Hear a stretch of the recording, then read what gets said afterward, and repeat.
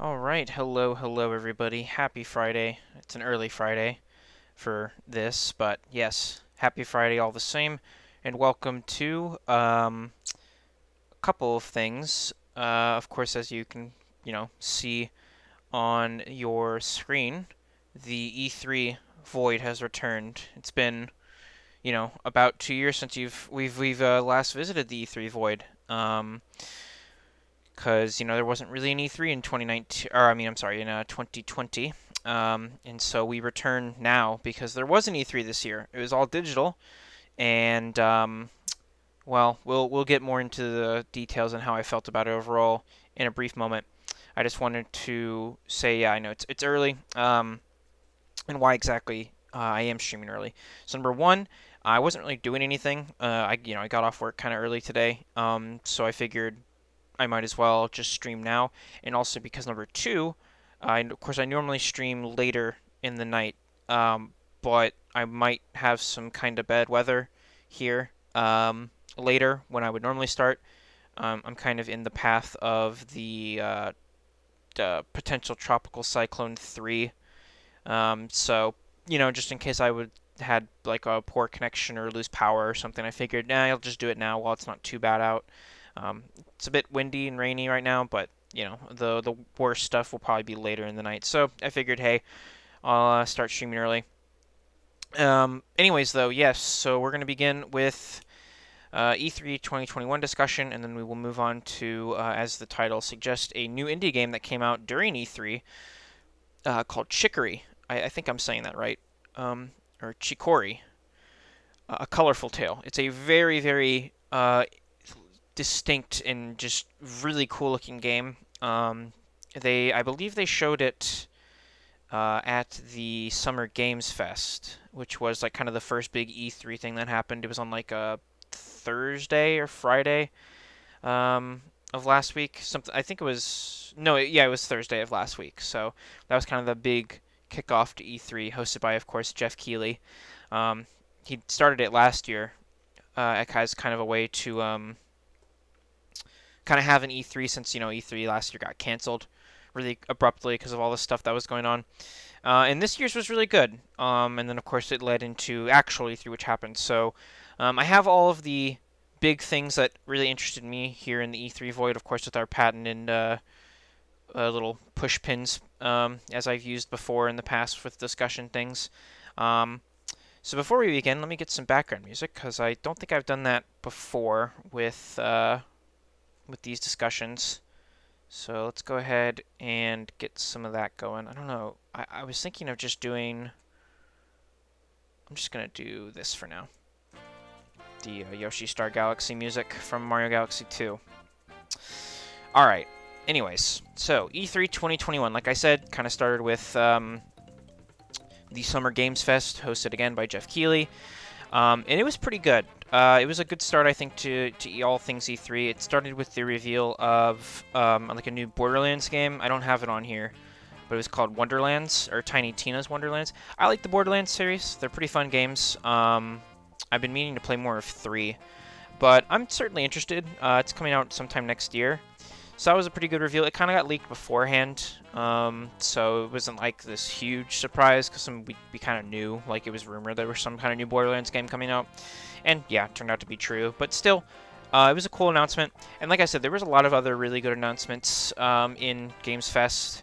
Um, a couple games that I've already like put on my wish list on Steam. Looks like, like co-op games, uh, Endless Dungeon, and the uh, uh, the God, what was it called? Hold on, it's gonna bother me if I don't get the name right. So let me find it real quick. I have it on my wish list. It's like I think it's like the the Anacrusis. Yeah, it's like this cool like 50s vibe space FPS co-op game. It looked pretty cool. Like there was definitely some good stuff at the Summer Games Fest.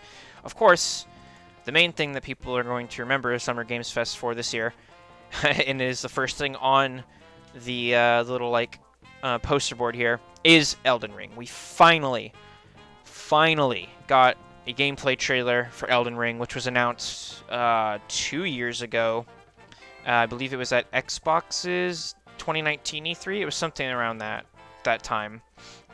So, you know, it had been a long time since because after that reveal trailer in 2018 we got nothing there was literally nothing in the entire time between the reveal in 2018 and this gameplay trailer uh, last week um, and my god the game looks amazing i love FromSoftware games um, bloodborne and dark souls 3 are probably my personal favorites but of course dark souls 1 um, sekiro Demon Souls. They're all great games. I love them all in you know different ways. But like I said, Bloodborne and Dark Souls 3 are probably my favorite.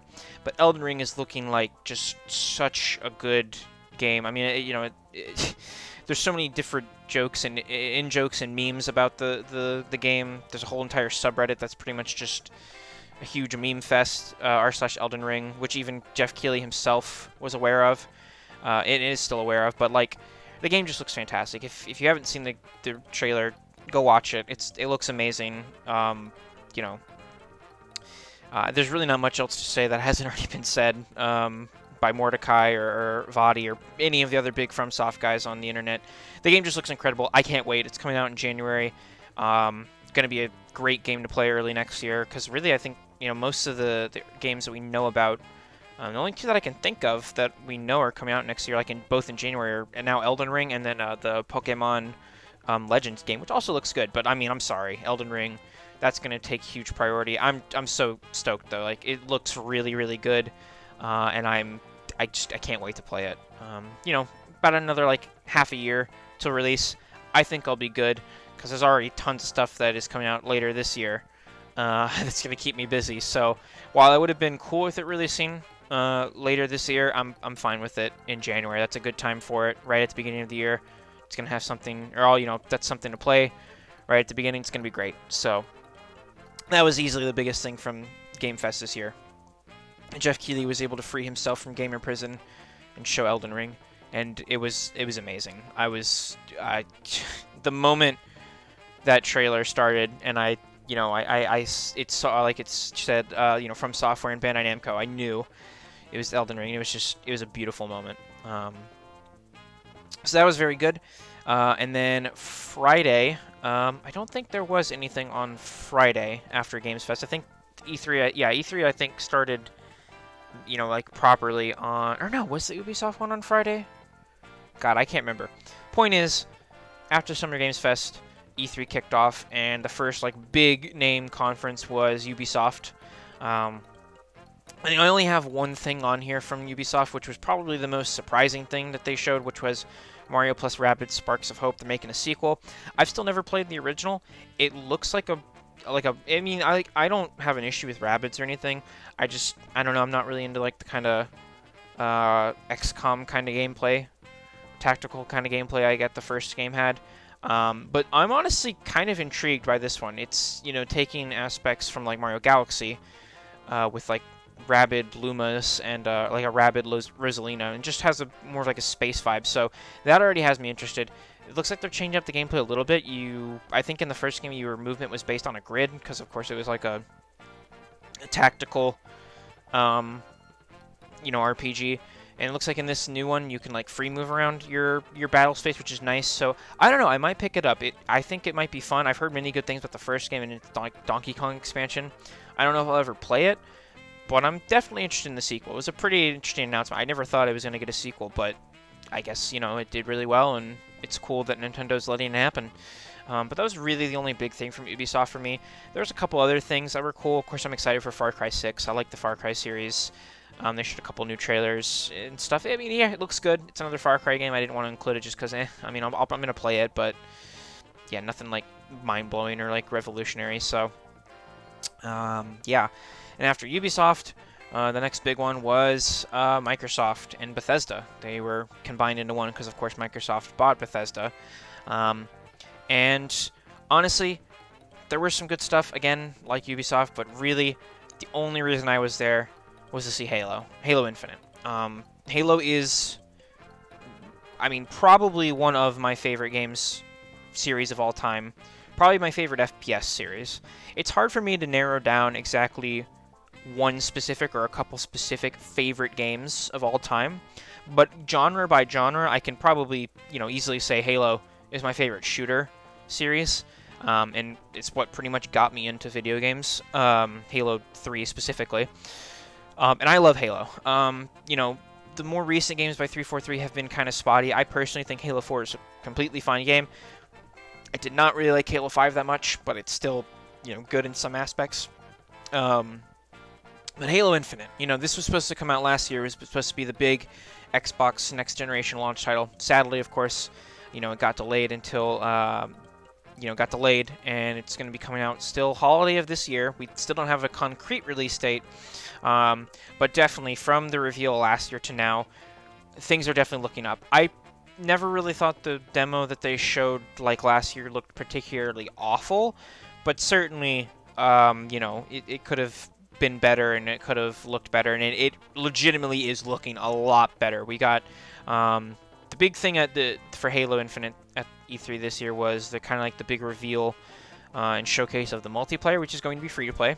Um, and it looks really fun. It looks like basically uh, Halo 3, but with nicer graphics, and that's that's all I can ask for. Because Halo 3 multiplayer, I still play, you know, weekly uh, on the Master Chief Collection. I love Halo 3, and again Halo in general, but Halo 3 is still probably my favorite. And it's just looking like a great mix of Halo 3 and Reach in a new, beautiful HD game. I can't wait. Honestly, it looks great. Um, and then we got a little bit uh, more shown about campaign. Nothing too much. Pretty much just like a cutscene and like a little showcase of a little area on the ring. But still, you know, I, I don't blame them for not wanting to show too much because, you know, obviously they don't want to spoil too much about the story. But it looks really good. I'm, like, legitimately excited for Halo Infinite. I mean, I already was, but even more so now. I think 343 is finally going to do right by Halo, by a lot of people. Um, and I think Infinite is really going to be the return uh, that the series really needs after uh, Halo 5. So I'm really excited. Again, no concrete release date. Still going to be holiday of this year you know, this November is the 20th anniversary of the series. Halo Combat Evolved launched 20 years ago in November of 2001. So I speculate they'll probably want to try and release it in November, but if they have to push it even to like December or something, that's fine. I just I'm I can't wait. I'm really excited. So I'm definitely gonna be playing a lot of that when it comes out. Um, so yeah. That was a really big thing for me for Microsoft. There were also some other good things. We got like a, little like cinematic teaser finally for Bethesda's new game Starfield. No gameplay or anything, but it seems interesting enough. Comes out next year. Um, you know, there is some good stuff for sure. Like I said, that Stalker game looks pretty, really looks really nice graphically. Uh, I've never played those games, but yeah, I was there for Halo. I I can say I'm pretty satisfied and I'm ready for it. So yeah. Um, that was like pretty much like the big thing from Microsoft and Bethesda for me. Uh, after that, I believe it was going to be, um, yeah, Square Enix. Square Enix, honestly, probably one of the weaker conferences at E3. A lot of people will, you know, you'll whenever they talk about the the conferences, Square Enix was definitely one of the more weak ones. They didn't have a ton to show, which is fine, but it didn't help that they stuck like so much of that conference was stuck on the first announcement, which was that they are making uh, and releasing a Guardians of the Galaxy game later this year, which is fine. I like Guardians of the Galaxy. I think it's cool that they're getting a game. But they spent like probably almost half of their conference just showing that game, and I don't know. Like, I don't like it when like these conferences drag on and or focus on one specific game. You know, it's fine to want to talk up your game and show it, but they spent too much time on Guardians of the Galaxy. Like if you go, if you watch the Microsoft one, or like if you go back and watch the Microsoft press press conference, like that, I think is like the best way to do E3, and even like also the Summer Games Fest. Like there were a couple times when like they showed a game and then they stopped to talk about it. For the most part, though, with Summer Games Fest and Microsoft, it was just game after game after game after game, which is really good. I like having you know, not too much time spent on one game. Usually the trailer that they show for the game is either long enough or detailed enough that you don't really need someone to come and explain it or talk about it. So the trailers, uh, like the trailer and then gameplay they showed for Guardians was fine, but they should have just cut it down because it just dragged on for far too long. And I mean, again, it's it's fine, it's cool, but I don't know. I think a lot of people are still sour about Avengers, uh, the other Marvel game that came out last year. And then like now with Guardians of the Galaxy, like it'll probably be okay, but I feel like it's probably just gonna get a lot of like the same kind of reception and reviews that Avengers got. Obviously, Guardians is, um, or I should say, Guardians is not gonna be like a multiplayer like loot kind of focused weird game that like Avengers is. It's gonna be single player focused, story driven, no no DLC, no loot boxes or anything. I don't know if that was like a, a thing in Avengers. I never played it, not going to. But it's nice that it's gonna be you know just like a, a story driven game. But I don't know. I just I'm probably not gonna get it. Uh, at least not at launch. I don't know. I just, it looks fine. I just, I don't really care too much. Guardians are cool, but eh. Um, and then we saw a couple other things. Talked about some other like Square Enix stuff that's coming out a little bit later. Like they showed a little bit about Legend of Mana the remaster that's coming out later this month, which I want to get. I probably won't get it at launch just because I'm still waiting to see if a physical release is happening here in the states officially. If not, I'm going to import a physical copy, which might take a little bit longer. Um, but that does look good. You know, fourth game in the Mana series. Uh, you know, last year we got the remake of Trials of Mana, which I played to through its entirety. So I'm definitely gonna get Legend of Mana and, and play it as well. I just, you know, might wait like a week or two extra, just because if it doesn't, if the physical release doesn't happen here officially in the states, uh, I'll have to import a copy because I want a physical copy of that game. So. Um, we saw a little bit about Babylon's Fall, which was a new game being made by Platinum um, which was announced, I think, back in 2019. We, we, we finally saw gameplay of it. It looks okay. Um, I've seen a lot of people online talking about how it looks kind of iffy and stuff, but I like Platinum games, you know, Bayonetta, and Wonderful 101, um, Astral Chain most recently. They make really good action, character action games, and this one seems pretty cool just because it's going to have, like, you, uh, you can play co-op, which, like, a co-op, like, kind of Bayonetta, Astral Chain kind of game sounds like it could be really fun. So I'm certainly interested. I'll probably give it a shot whenever it comes out. I don't think they have a release date. I think it might have been this year, maybe next year. I don't remember. But it looks pretty good. I didn't put it on here just because, eh. Really the only thing that stood out as the big new thing from Square Enix, other than Guardians, which I didn't put on here, uh, is the last thing that they announced, which has become like the huge meme of E3 2021, which is Stranger of Paradise Final Fantasy Origins, which was kind of rumored before E3 that fi that Square Enix was teaming up with Koei Tecmo and Team Ninja uh, to make like a Final Fantasy spin-off.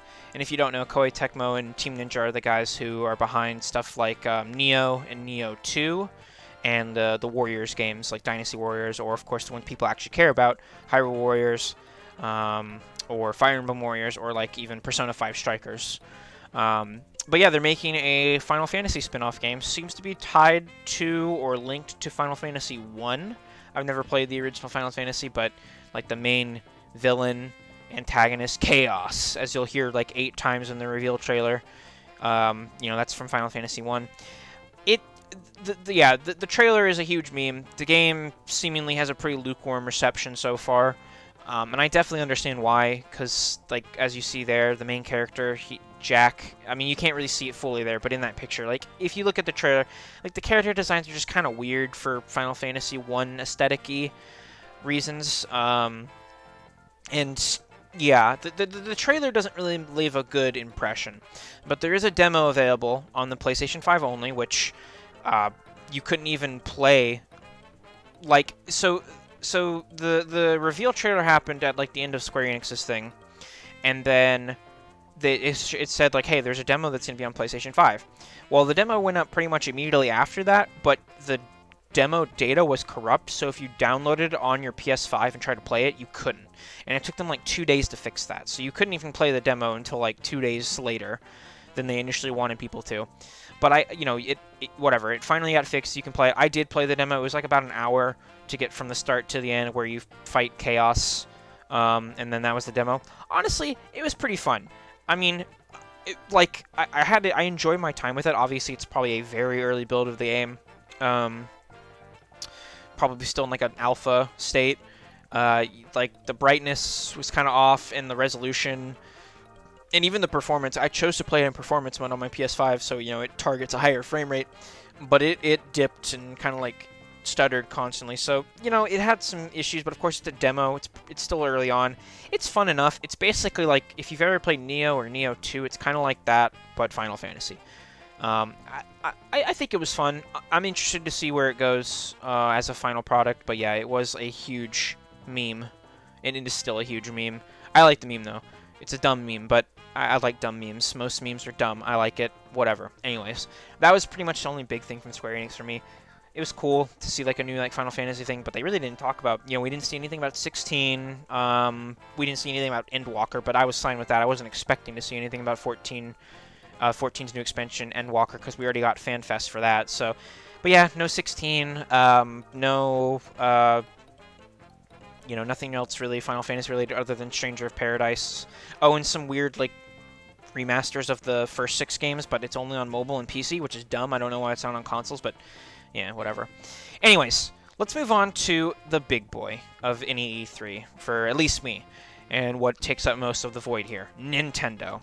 So, honestly, going into Nintendo's Direct, I feel like they had already probably won it for me, just because everything so far had been like kind of whatever. Like if you look at the the board here, pretty much there's only like one big thing from each conference. It's like Summer Games Fest. Even though I, I think overall Microsoft and Summer Games Fest were probably like they were good, but for me they really only still had like one major thing. And of course I didn't really like know or expect Elden Ring was going to be at Summer Games Fest, but there was like rumors about it. Um, but yeah, like Elden Ring was the huge thing for Summer Games Fest, at least, and then for me, at least, Halo was a big thing for Microsoft. I wouldn't even say Mario plus Rabbids Sparks was the big thing from Ubisoft because I don't think anybody was expecting it, but it's probably one of the bigger, cool new announcements from it. Since you know, again, no one was expecting it, and it really was just like the big new thing. I think it was one of the last things they showed off too, so that was pretty cool. Square Enix had whatever the hell Stranger of Paradise was doing with that trailer. But then, like, Nintendo, like, there's so much on the board here to talk about and what is, like, that's, like, so exciting. But really, going into Nintendo, I was like, well, we know there's going to be a new Smash character. That alone is always going to be hype, so that alone would have, like, sold it for me. But, we'll, we'll, we'll get to the rest of stuff. But yes, so they started with basically the new Smash character, which is Kazuya from Tekken. I will say, personally, I've never really played any of the Tekken games. I'm not super big on Tekken. I think it's really cool that Kazuya is in. I think definitely, you know, it makes sense. Bandai Namco, I believe, are the publishers of the Tekken series, if not also the developers. Um, so, you know, makes sense to have one of their franchises in Smash as well, along with, like, Pac-Man and stuff. Um, there were rumors back in Smash for Wii U and 3DS that Heihachi was going to get in, um, but that ended up just being a Mii costume, which I think is also an Ultimate now. But nope, and instead of Heihachi, we are getting Kazuya. Again, I don't know much about Tekken. Um, the most I've played of Tekken was in Street Fighter Cross Tekken, and that wasn't even too much either. But he seems cool enough. I know he's a pretty iconic Tekken character. I think he's been there since the beginning. He, he you know, he looks really fun. Um, we're gonna getting, we're gonna be getting a deep dive into the character by Sakurai later at the end of the month. That's really all I have to say. It wasn't an, an announcement that really excited me, just because again I've never played Tekken, but you know I respect it it's certainly a very long-running and well-beloved uh, and recognized fighting game series. Um, just not really for me, but I'll I'll definitely try him out. I really do like all the other like fighting game characters because Sakurai and his team have done a really good job of incorporating fighting game mechanics from Street Fighter or uh, Fatal Fury into those characters and then putting them into Smash. And I'm sure Kazuya will be no different. So yeah, uh, that was really cool to start with. New Smash character. We only got one left. We'll have to see who it is later this year.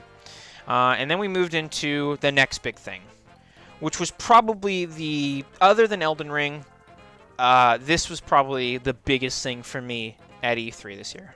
Metroid Dread. It's real. And I still cannot believe that Metroid Dread is real. So Metroid Dread is a new 2D Metroid game developed by the same people who did the remake of Metroid 2 on the 3DS, Metroid Samus Returns, Mercury Steam. But this isn't a remake or anything. This is a brand new game taking place after Metroid Fusion, which released back in 2002 on the Game Boy Advance. Um, so this is like finally after all these years, we're getting another episode in the story of Metroid, um, and it just it looks so damn good. I loved Samus Returns on the 3DS, and getting a new 2D Metroid game in HD. I love Samus's new suit, the colors, like the little, the, you know, she still has little bits of the fusion suit on there, but the white looks really great with the blue. It just it, the, the fact that it's called Dread, which uh, that is a whole other thing, but there is a, a long and storied history to that title, spanning all the way back to like 2004 or six. It's just it's amazing. I'm I'm so so so excited to get my hands on Metroid Dread. It's just going to be so nice to have a new Metroid game. You know, new in the sense that it is a new game, but also it's not a remake. It is a, just a new Metroid game. Everyone gets to go in fresh. It's just, it looks so great. I'm so excited from the gameplay that they showed at the Treehouse after the stream, and the trailers and the music. It's just, it looks amazing. There's a special edition that's coming out too, but I'm probably not going to be able to get it because Nintendo special editions are just a bitch to try and get, even though I really want it because it comes with a really big meaty art book and like a steel book and stuff. I really want it because I really like Metroid, but I'm probably not going to get it because you can't even pre-order it anymore. It really sucks. But, yeah. That was huge. I that is that is probably the biggest thing from E3 and you know, let alone Nintendo uh, Nintendo's Direct, but yeah, I'm super pumped for Metroid Dread. Comes out in October. Comes out this year. It's insane. I'm I just I can't wait. So that's gonna be awesome. A couple other things. Um, uh, as is this year is an anniversary of a lot of things. Donkey Kong. Um, I think Kid Icarus, Metroid, uh, Super Monkey Ball. Apparently, I didn't even know this, but I believe this year is the 20th anniversary of Super Monkey Ball. Um, and to commemorate that, they're releasing Super Monkey Ball Banana Mania, which is a compilation of like remasters of Monkey Ball 1, 2, and Monkey Ball Deluxe. Um, and I've played a little bit of 1 and 2 back in the day on GameCube, but I've never owned them. Uh, I have Banana Blitz HD when that came out. Uh, I got it like a little bit later for like really cheap. I haven't played it. I've heard Banana Blitz isn't exactly the greatest of the Monkey Ball games. Um, but you know, the remake of it or remaster was nice just to have a, a Monkey Ball game, and these are going to be really nice because Monkey Ball 1 and 2 are actually good Monkey Ball games that people care about. Um, so I'm definitely going to be picking those up when they come out, or picking up Banana Mania when it comes out, because it's just one game with all of them on it. Um, because yeah, I, I, do like Monkey Ball. It's, it's a fun little series, um, and there's going to be a lot of stuff to do in the Banana Mania collection because it's going to have three games and all the mini games from them. So it's going to be great. I'm looking forward to that. I think that's also out in September, uh, or I should say it's in September. Metroid is in October. Another thing that's in October is uh, Mario Party Superstars. So uh, I, I actually just recently picked up Mario Party or Super Mario Party because uh, you know they recently added the online, and I wanted to actually like give it a go because of that. And of course they announced this. Kind of have some buyer's remorse, but hey, it was a little bit cheaper, and this is looking much much better than Super Mario Party. This is basically taking the 3DS game um, uh, Mario Party the Top 100, and they're taking that because that game was 100 of the best minigames from all of the games in the series, but it was pretty much just that. There was like one board, it was really whatever. The main point of that game on the 3DS was, hey, here's 100 of the best minigames from the series, you can play them, and that's it. And no one wants to just play Mario Party minigames on their own. Um, so they're taking kind of what they did with that game and what they're doing is they're, they're taking that. I don't think it's necessarily all of the exact same 100 best minigames. It might be. I have no idea. But they're taking 100 of the best minigames from all of the games in the series, of course, remaking them in this, I mean, beautiful HD, um, on top of five boards from the N64 Mario Party games. So Mario Party 1, 2, and 3. Now, personally, I think five boards still isn't really that much. I think they probably could have gone a little bit more, maybe, you know, seven or eight boards. I don't actually know how many boards in total are in Mario Party 1 and then 2 and then 3. Obviously, I know they're remaking them completely from the ground up and they look a hell of a lot better than they did in the N64 games because those were pretty much just like PNGs, whereas these are actual full 3D boards. Um, but still, 5, not really a ton, but hey, for me, I never played any of the N64 Mario Party games. These boards, while they are old, they're going to be new to me, and I'm sure they're going to be new to a lot of people um, who never really got the chance to play any of the older Mario Party games. So I'm super excited. It looks great. The gameplay they showed, again, beautiful game. Um, the, I'm sure the mini games are going to be a blast. You know, curating, handpicking all the best ones from all the games. I'm looking forward to it, and it's going to have online right out of the box on launch day. Um, so yeah, I think it's going to be really good. Um, next big thing from Nintendo, uh, actually before we get into that, um, Shin Megami Tensei 5, we got a new trailer and we finally get to see gameplay of the game. Uh, release date was leaked beforehand on the game's official Japanese website. It's coming out in November worldwide. Honestly, it looks really cool. I love the protagonist design. Um, uh, I, I'm not sure if it's a guy or a girl, but they, I'll say, they've got a great design when they're fused with like the demon that you're partnering with in the game. They've got like long, lush, flowing blue locks of hair. They've got a cool like like laser sword that comes out of their fingers and makes a blade. It's so so freaking cool looking. Um, and yeah, it just it looks really solid. I, I picked up um, the re HD remaster of SMT3 that came out a couple weeks ago. Um, I haven't popped it in to play it yet, but I'm definitely gonna play through that before we get to five later this year. Um, and I'm really excited though. Uh, you know, I love the Persona series, but I've never really played any of the core uh, original SMT games. Um, but I'm going to start with 3, and 5 is looking legitimately fantastic from what I've seen. Um, you know, if you like JRPGs, I'm sure it's probably already on your radar, but it looks great. So that's going to be awesome. Huge JRPG, exclusive to Switch too, so that's going to be a, another a huge game for the Switch to have. You know, it sucks that we don't have Persona games on the Switch, but we're going to have SMT uh, 5, and we already have SMT 3, so those kind of filled the gap, because obviously they're still, you know, made by Atlus, same character designs and stuff of the demons that the are used as personas or shadows in, in the Persona series. So SMT5, though, looks great. Can't wait for it. Out in November, on November 12th, worldwide. So that's really cool. The next big thing, which wasn't necessarily rumored, but there were, like, people were getting, um, like, polls before E3 asking, hey, how much would you want to pay for, like, a new WarioWare game? So that made people think, oh, well, we're getting a new WarioWare game. And yeah, we are getting a new WarioWare game. And it looks awesome. Um, WarioWare Get It Together was announced and it is looks really fun. It's it's like a co-op. It's gonna have like co-op up to two players. It doesn't. They didn't confirm whether or not it's gonna have online. I really hope it has online. Um, but at the very least, it's gonna have local two-player co-op.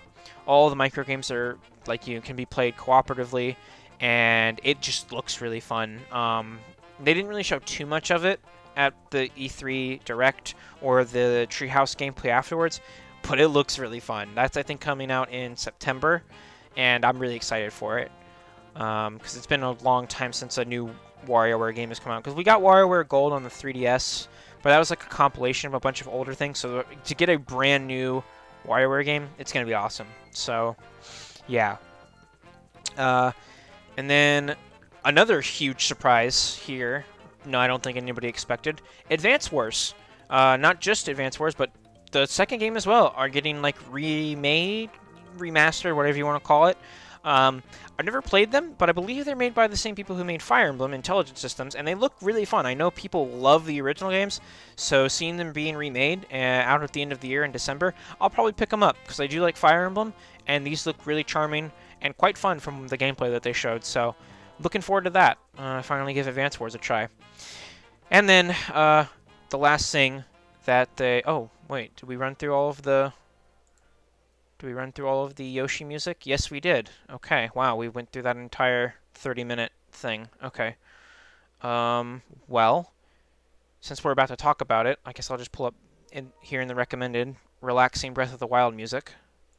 So yeah, Breath of the Wild. So the last thing that they ended the E3 Direct with was a little blowout of Zelda news, um, information about the DLC coming to um, uh, Hyrule Warriors Age of Calamity. I never even finished Age of Calamity. It's a fine game. I just, I don't know, I fell off of it, but I'll probably try and finish it at some point. I might get the DLC, but nah, no one's, like, it's cool, but not the biggest thing. People, of course, were wanting to see Breath of the Wild too. Um, but after they talked about Age of Calamity, they once they talked again about Skyward Sword HD uh, coming out next month. Again, a Zelda game not too many people are, you know, super fond of. I personally love Skyward Sword. Um, I'm really excited to play it again uh, in HD, 60 FPS, and all that. It's a little weird that they're not talking about it more or showing any of the new stuff that's going to be in Skyward Sword HD, especially because it's out in like a month. But regardless, I like Skyward Sword. Yeah, they remind us, hey, it's coming out next month. Check it out. Yeah, so that's cool. Uh, and then the the big, the two big things. So the Zelda Game and Watch that's going to be coming out in November kind of similar to the Super Mario Brothers Game & Watch that came out last year for Mario's 35th anniversary, for Zelda's 35th anniversary, which is this year, aside from Skyward Sword HD, um, we are going to be getting a really cool Legend of Zelda Game & Watch.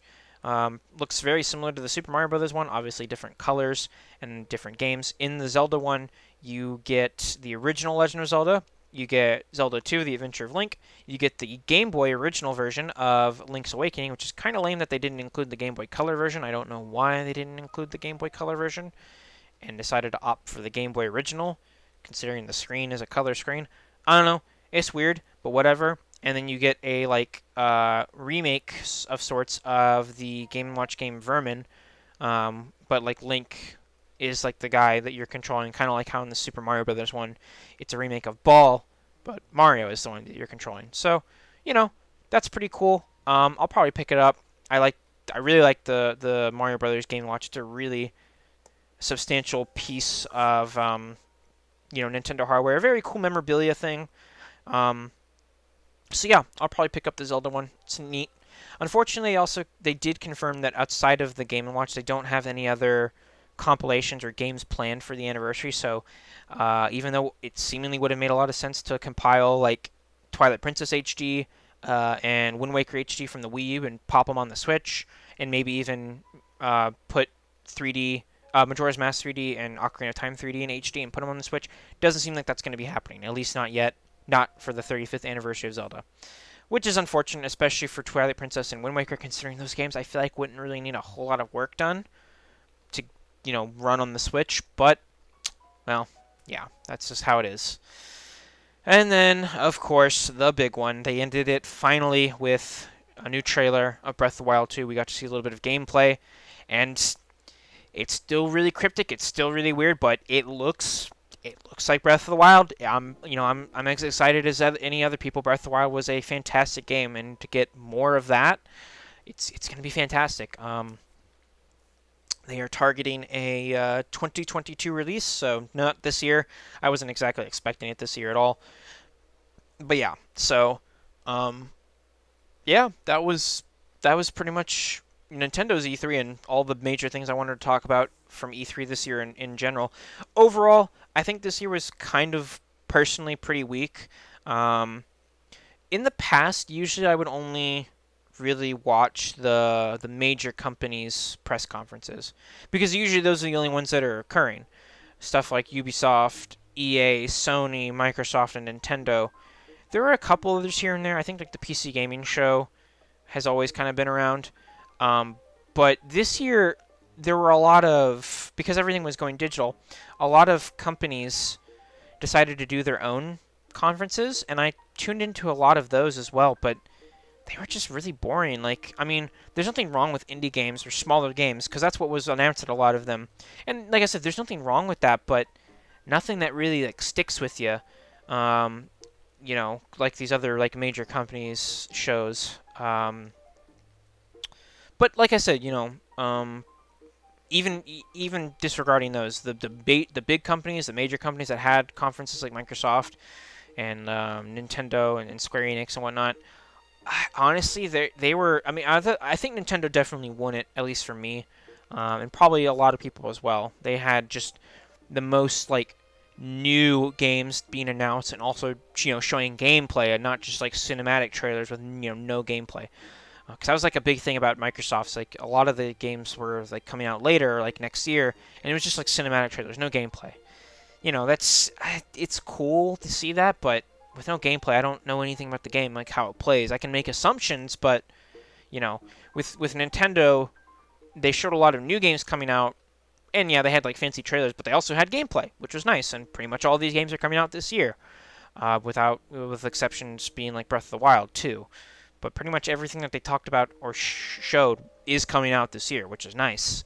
Um, whereas like with Square Enix and stuff, like that new Final Fantasy game, it's coming out next year. Elden Ring, yeah, that gets a pass because it's Elden Ring. But yeah, coming out next year, but it's January, so at least it has a release date. Um, you know, so overall, I'd say this E3 is pretty weak. Um, a lot of the the press conferences were just really whatever. Some of them didn't need to happen. Like I didn't even go over like Capcom's because honestly, that didn't need to happen. Um, like Bandai Namco had their own, but it was like for one game. Like why? Like it's just some of them were so pointless. Some of them were just so whatever. And yeah, I don't know. There was definitely some good stuff this year. And for me, what you see, this was what was good. Um, you know, for me, and I think a lot of the stuff here kind of is the the bigger, more notable stuff. Um, but yeah, the C3, honestly, kind of weak. Um, you know, and even even like look like thinking back to 2019, 2019 was also kind of weak, aside from like Microsoft and Nintendo. Um, and it's kind of the same here. Microsoft was pretty good, Nintendo was pretty good. Other than that, everything else was kind of meh. And I feel like, you know, um, Sony hasn't been at E3 in a while, and I don't know if them being here would have made it any better or not, but it would have been something to talk about.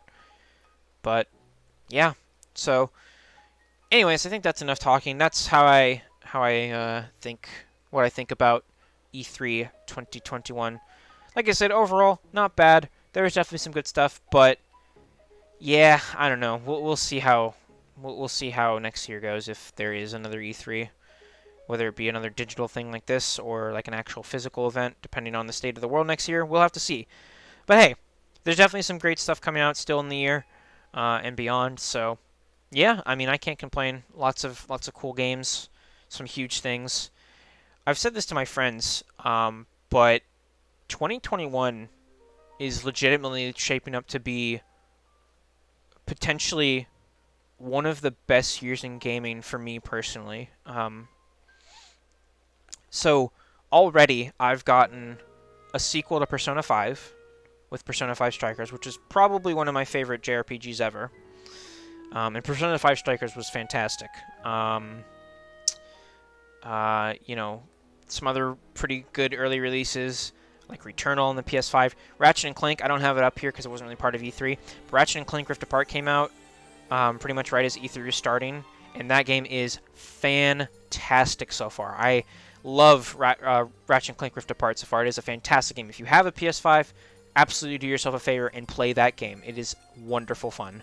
Um, um, you know, uh, uh, what, I'm, I'm sorry, I'm drawing a blank here, but um, uh,